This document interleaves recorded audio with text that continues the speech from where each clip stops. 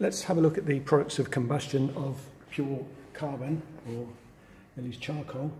Um, we've got lime water in this tube here, we've got universal indicator in this tube here, and we've got a upturned funnel connected to them, and a water pump over on the right here, which is going to draw the gas through the tube uh, from the funnel here. So here we go. Let's turn on the, the water pump, get a nice smooth flow of gas. And now I'm going to put some very hot barbecue charcoal under there just to show you how hot that is. I'm going to attempt to show you inside. You might see some glowiness on this one down here.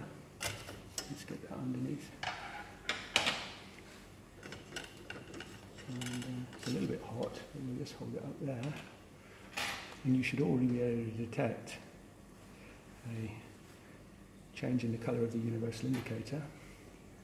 You can't really, not picking up on the camera, just how hot this uh, charcoal is. Now you might see some sparkly bits falling off there.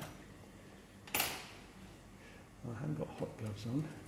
You might just be able to detect the orange nature of it there.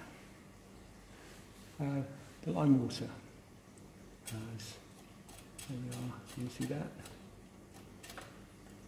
See that orange glow there, burning carbon. Pieces come off. It's covered in ash, of course. So, products of combustion of burning carbon.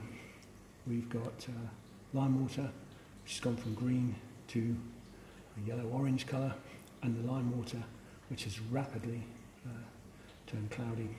So you should be able to identify the fact that we produce carbon dioxide, unsurprisingly, by burning carbon. And uh, it's a nice little demonstration experiment.